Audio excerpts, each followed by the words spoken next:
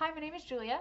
I was accepted to the Brown class of 2025. Sadly, I will not be attending, so if you're from Brown, sorry, I'm not gonna see you there. I was accepted to Brown and I just wanna put out my like application video just because I thought that it would be like nice for other people who are applying in the future if they want to see kind of an alternative way to do the videos because I know a lot of people try to do it serious and stuff, but really that's not me. I took a more like comedic sort of approach and I didn't see a lot of this online, so here's my video. I don't know if anyone's gonna watch this. I don't know if anyone's gonna care. If you have questions in the comments, I can help you answer it. okay, bye. Good morning, Brown University admissions team, specifically to Mr. James Walsh. Now, I don't know what you look like, but I assume that you look like one of these handsome men. But when I say that I assume that you're handsome, I don't mean it in a creepy, flirty way. I mean it in an objective observation sort of way. I would never flirt to get into college. My name is Julia Ward, and I know what you're saying to yourself. Oh no, not another video of someone trying to schmooze their way into Brown with all their bells and whistles in this little video. So that's why I'm just gonna give it to you straight. Let's break down Brown University's mission statement into a few key phrases.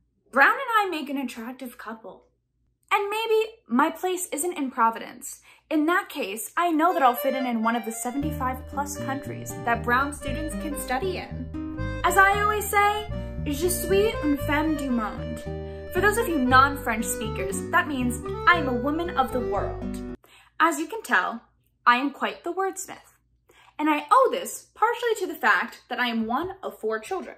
And I use these communication skills on the daily to communicate to my 30,000 combined followers.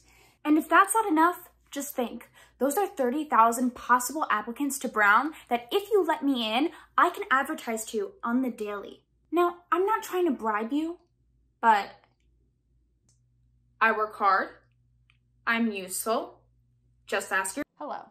At this point in the video, I was going to include a Yo Mama joke, but then my mom heard it and then she yelled at me and said I could not do it, so there's no Yo Mama joke. Back to the video. I want to end this presentation with the most important point of all, partnership.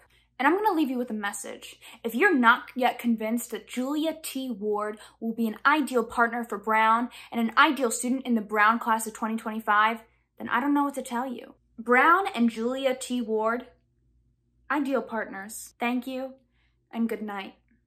I hope it was helpful. Uh, and good luck to any future applicants. I don't even know if anyone's going to watch this video, so bye-bye.